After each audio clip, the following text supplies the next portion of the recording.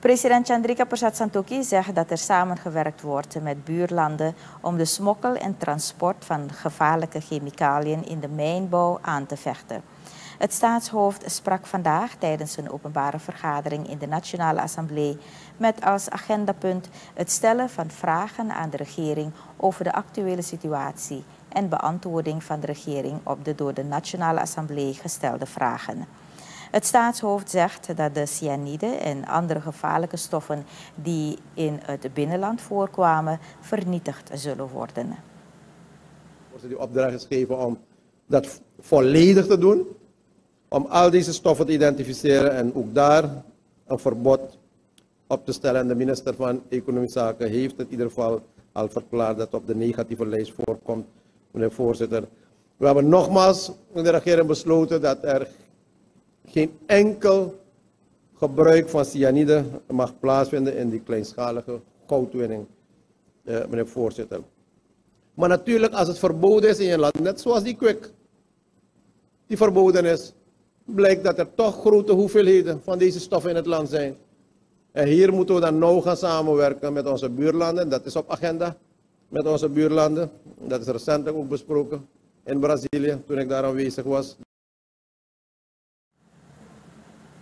Santoki zegt dat het de bedoeling is dat de twijfels over de veiligheid van het water in het stuwmeer en omstreken weggewerkt moeten worden.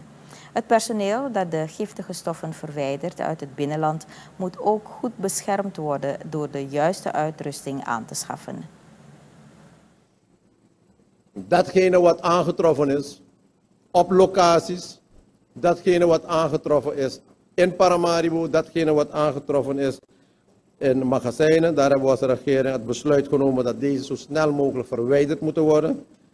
En daarvoor is er een contractor uh, ingehuurd die op uh, veilige wijze al deze hoeveelheden weggehaald heeft, verplaatst heeft, opgeslagen zijn en onderzocht is dat het veilig is opgeslagen, meneer voorzitter. En hierop moet ook antwoord zien te vinden, hoe gaan we dit vernietigen? Daarvoor hebben we weer deskundige bijstand nodig. En dat is ook al ingezet, dat we de bijstand moeten krijgen om te kijken wat de beste wijze van die vernietiging hiervan is. En als je dat niet goed doet, kan dat op zich weer leiden tot weer een ander probleem en een andere ramp wat we niet willen, meneer voorzitter. Santoki zegt dat de status van Suriname als groen en carbon-negatief land behouden moet worden.